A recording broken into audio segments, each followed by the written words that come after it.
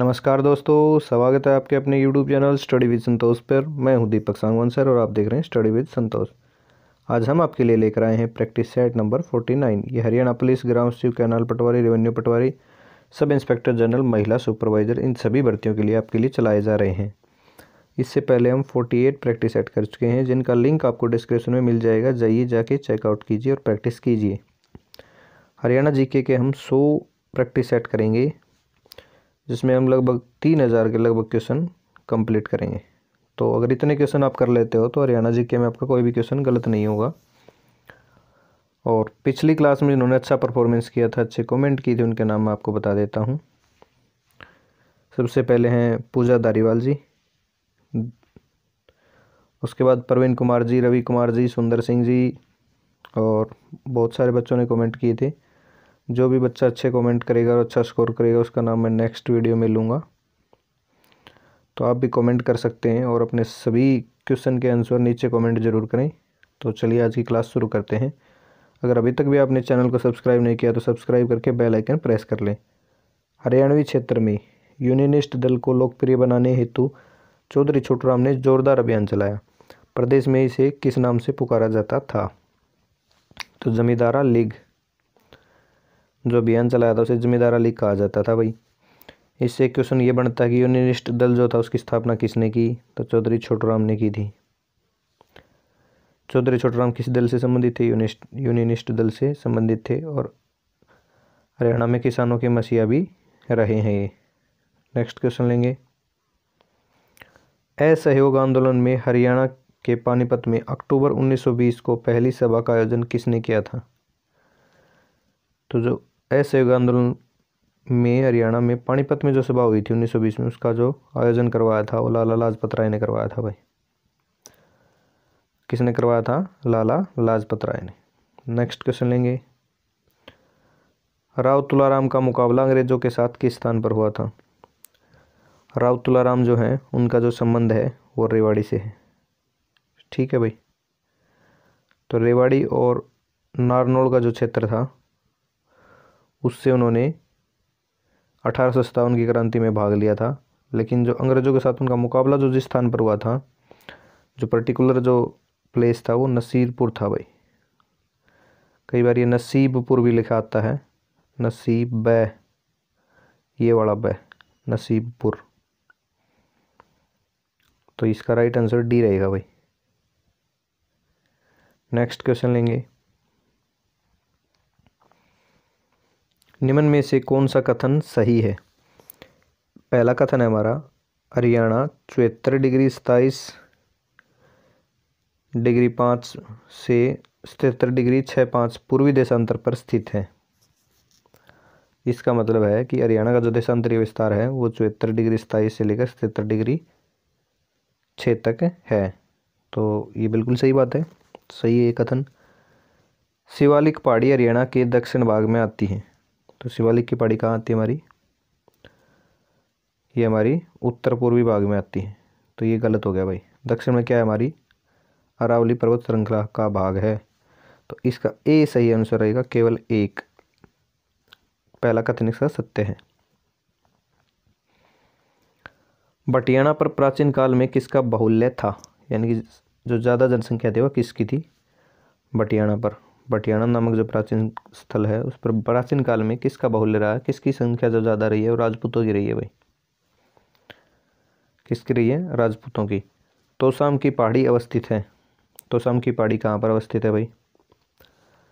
तोसाम जो है, वो भिवाड़ी ज़िले की एक तहसील है। और ये तोगम की पहाड़ी लिख रखे इन्होंने, लेकिन तोसाम की पहाड़ी आएगा भाई। तोसाम की पहाड़ी। ये मिसपेल्ट है। तोसाम की जो पहाड़ी है, वो बेवाणी में है। बेवाणी ज़िले की तहसील है तोसाम, और वहीं पर तोसाम की पहाड़ी स्थित है। नेक्स्ट क्वेश्चन लेंगे। निम्न सभी का अवतरण शिवालिक पर्वतमालाओं से हुआ है, केवल छोड़कर। यानी कि जो बाकी सभी जो नदियाँ हैं, वो शिवालिक की पर्वतमालाओं से निकली हैं, लेकिन एक नदी इसमें ऐसी है जो पर्वतमालाओं से नहीं निकली है तो कहाँ से निकली है? वो यमुना नदी है, यमुनोत्री से निकली है। बाकी घग्गर मारकंडा और टांगरी जो नदियाँ हैं, ये हमारी सारी की सारी नदियाँ हैं, ये शिवालिक पर्वतमाला से निकली हुई हैं। इंदौरी पहाड़ी स्थित है। इंदौरी पहाड़ी कहाँ पर स्थित है भाई? इंदौर में स्थित है भाई। इंदौर में। और इंदौर हमारा कहाँ पर है? मेवात में। इम्पोर्टेंट क्वेश्चन है और इंदौरी नदी इंदौर से निकलती है। ठीक है इम्पोर्टेंट क्वेश्चन है, याद रखिएगा। नेक्स्ट क्वेश्चन लेंगे। हरियाणा के दक्षिण पश्चिम में स्थित है। दक्षिण में और पश्चिम में, यानी कि पश्चिम में हमारे राजस्थान लगता है और दक्षिण पश्चिम में भी हमारे राजस्थान ही लगता है। सी इसका राइट आंसर हो जाएगा। ठीक है। प्रदेश में बाढ़ का मैदान स्थानीय भाषा में कहा जाता है। तो बाढ़ के मैदान को क्या कहते हैं? नेल्ली और बेट कहते हैं भाई। जो बाढ़ का मैदान होता है, उसे स्थानीय भाषा में नेली या बेट कहते हैं। हरियाणा का सर्वाधिक गर्म माह, सबसे जो गर्मी वाला महीना होता है, वो हरियाणा के अंदर होता है मई का महीना भाई। कौन सा महीना होता है? मई का महीना। और सर्वाधिक जो ठंडा महीना होता है, वो कौन सा होता है हरियाणा के अंदर? वो होता है जनवरी। जनवरी सबसे ठंडा और मई सबसे गर्म। दोनों इम्पोर्टेंट है, याद रखिएगा। हरियाणा का सर्वाधिक गर्म जिला सबसे ज़्यादा गर्मी कहाँ पड़ती है? हिसार में पड़ती है। और सबसे ठंडा जिला, यहाँ गर्मी भी अधिक पड़ती है और ठंड भी ज़्यादा पड़ती है। गर्मियों में गर्मी अधिक पड़ती है और ठंड के टाइम पर ठंड ज़्यादा पड़ती है सर्दियों में। नेक्स्ट क्वेश्चन लेंगे। राज्य का कौन सा भाग रेतीला है? तो जहाँ पर रेत का क्षेत्र ज़्यादा है, वो कौन सा भाग है? दक्षिणी भाग है। दक्षिणी भाग है। पूर्वी भाग जो है, वो शिवालिक के इर्द गिर्द का क्षेत्र है, उत्तर पूर्व का। वो हमारा अच्छा भाग है, जो दक्षिणी भाग है, वो रेतीला भाग है। नेक्स्ट क्वेश्चन हमारा क्या रहेगा? किस मृदा में दालों की खेती अच्छी होती है? तो किस प्रकार की मृदा में दालों की जो खेती की जाती है, वो सबसे अच्छी होती है, वो होती है अति हल्की मृदा में। जो हल्की मृदा होती है, उसमें दाल वगैरह की जो खेती होती है, वो अच्छी होती है। तो नेक्स्ट क्वेश्चन लेंगे। हरियाणा में वर्षा का वार्षिक वितरण औसतन कितना है? यानी कि औसत कितनी वर्षा हरियाणा के अंदर वो एक साल में होती है? तो ये होती है चालीस सेंटीमीटर से लेकर साठ सेंटीमीटर तक।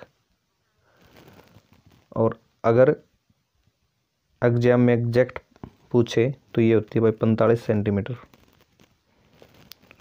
जो वार्षिक वर्षा है हमारी, पैंतालीस सेंटीमीटर है। या तो ये इसके बीच में होगी, अगर एग्जैक्ट है तो ये होगी। याद रखिएगा इंपॉर्टेंट क्वेश्चन है। कई बार एग्ज़ाम में आया हुआ। हरियाणा के किस भाग में सर्वाधिक वर्षा होती है? आंगनबाड़ी 2017 के एग्ज़ाम में आया हुआ है। सर्वाधिक वर्षा हम ज़िक्र कर भी चुके हैं वैसे। जो हमारा शिवालिक का भाग है, उत्तर पूर्वी भाग में सबसे ज़्यादा वर्षा होती है। सबसे कम जो वर्षा होती है, वो दक्षिणी भाग में या दक्षिण पश्चिमी भाग में सबसे कम वर्षा होती है हमारे। यानी कि इस भाग में सबसे कम और इस भाग में सबसे ज़्यादा वर्षा होती है। नेक्स्ट क्वेश्चन लेंगे। हरियाणा का सबसे शुष्क क्षेत्र है। शुष्क क्षेत्र का मतलब जहाँ पर बारिश कम होती है टिल्ले वगैरह ज़्यादा हैं तो वो है हमारा महेंद्रगढ़ का क्षेत्र भाई, जो कि दक्षिणी भाग में पड़ता है हरियाणा के। तो इम्पोर्टेंट क्वेश्चन है भाई। हरियाणा में शीतकाल में औसत तापमान रहता है। यानी कि सर्दियों के मौसम में जो औसत तापमान रहता है, वो हमारा कितना रहता है? बारह डिग्री सेल्सियस। और जो ग्रीष्म काल में रहता है औसत तापमान वो रहता है हमारा पैंतीस डिग्री सेल्सियस। दोनों इम्पोर्टेंट है। कभी भी कौन सा भी पूछा जा सकता है। ब्लू बर्ड झील कहाँ स्थित है? तो ब्लू बर्ड झील जो है हमारी हिसार ज़िले के अंदर स्थित है। ब्लू बर्ड झील कहाँ स्थित है? हिसार में। ठीक है। फरीदाबाद में हमारी बड़खल झील स्थित है। हरियाणा की सबसे पुरानी नहर है। हरियाणा की सबसे प्राचीन नहर कौन सी है? तो ये हमारी है पश्चिमी यमुना नहर। पश्चिमी यमुना नहर हमारी सबसे प्राचीन नहर है। नेक्स्ट क्वेश्चन लेंगे। अल बरूनी के प्राचीन पुस्तक किताबुल हिंद में किस झील का उल्लेख है? तो ये ब्रह्म सरोवर का उल्लेख है, जो कि कुरुक्षेत्र में है। किस पुस्तक में ब्रह्म सरोवर झील का उल्लेख है? अलबरूनी की पुस्तक में है, किताबुल हिंद में है। इंपॉर्टेंट क्वेश्चन है भाई। पीजीटी 2016 में आया हुआ। आगे भी आने की पूरी पूरी संभावना है। साथ साथ आप भी कमेंट कर रहे हैं, बहुत अच्छी बात है, आपने ये क्वेश्चन किया। गिद्ध संरक्षण एवं प्रजनन केंद्र हरियाणा में किस स्थान पर है? तो गिद्ध संरक्षण केंद्र हमारा पिंजौर में है भाई। पिंजौर हमारा कहाँ पर है? पिंजौर हमारा पंचकुला के अंदर आता है। तो इसका पिंजौर आंसर हो गया। नेक्स्ट क्वेश्चन लेंगे। हरियाणा के कलेसर जंगल में कौन से पेड़ों की अधिकता है? तो कलेसर के जो पेड़ हैं, वहाँ पर साल के वृक्ष की अधिकता है भाई। साल के वृक्ष जो होते हैं, साल की लकड़ी जो होती है, वो बहुत मज़बूत होती है, बहुत अच्छी होती है। पहले जब लकड़ी के मकान वगैरह बनाते थे, लकड़ी की का यूज़ करते थे छतों वगैरह में तो साल की लकड़ी का बहुत ज़्यादा प्रयोग किया जाता था। वन स्थिति रिपोर्ट 2017 के अनुसार सर्वाधिक वन क्षेत्र में वृद्धि प्रतिशत दर्ज की गई है। तो फरीदाबाद में की गई है भाई। फरीदाबाद में 2017 की रिपोर्ट के अनुसार सबसे ज़्यादा वन क्षेत्र के प्रतिशत में वृद्धि हुई है। यानी कि वन क्षेत्र बड़ा है प्रतिशत के हिसाब से। ठीक है नेक्स्ट क्वेश्चन लेंगे। हिसार उद्यान ईरण उद्यान राज्य के किस ज़िले में है? तो ईरण उद्यान जो है हिसार ज़िले में है। या फिर ये पूछ सकते हैं, हिसार में कौन सा उद्यान है? तो वो हिरण उद्यान है। हिरण उद्यान एक और भी है भाई, वो हमारा महम में है। महम कहाँ पर पड़ता है? महम हमारा रोहतक में पड़ता है। रोहतक में। इम्पोर्टेंट क्वेश्चन है, याद रखिएगा। तो आज की क्लास में इतना ही। क्लास आपको कैसी लगी? कमेंट करके बताएँ। ये क्लासेस आपकी रेगुलर रहेंगी। और हरियाणा जी की क्लास आपको हर रोज़ सुबह सात बजे मिल जाया करेगी। और इंग्लिश की क्लास जो चल रही है के डी सर की, आप उनको बहुत प्यार दे रहे हैं, ऐसे ही अपना प्यार बनाए रखें।